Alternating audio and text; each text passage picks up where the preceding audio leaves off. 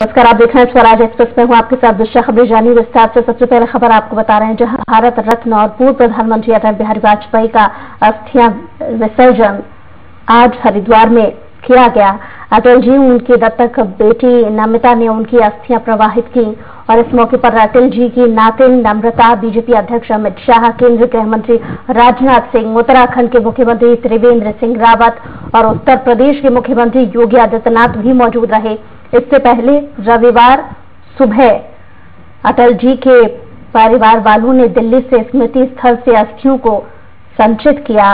इन्हें सेना के विशेष विमान से देहरादून लाया गया, फिर हेलीकॉप्टर से हरिद्वार लाया गया और फिर अटल जी की अस्थि कलश यात्रा भी निकाली गई।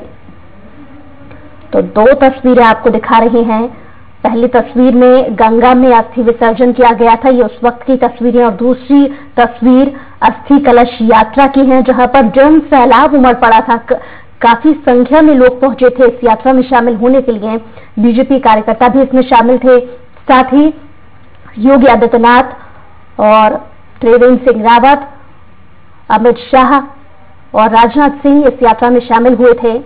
तो दोनों तस्वीरें आपको दिखा रही हैं।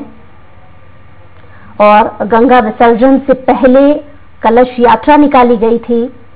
काफ़ी संख्या में लोगों की मौजूदगी इसमें देखने को मिली थी और वहीं गंगा घाट पर भी लोगों का हुजूम यहाँ पर देखने को मिला था।